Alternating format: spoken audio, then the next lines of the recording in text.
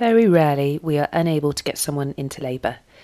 This either means we can't break their waters or they have been on the drip for a prolonged period of time without contracting or making progress.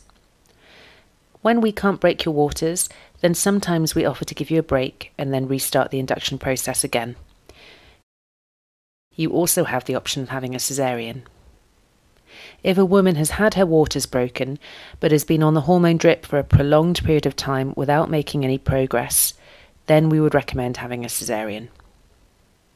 This situation almost only ever happens in women who have not had babies in the past and is more common in women who are less than 39 weeks.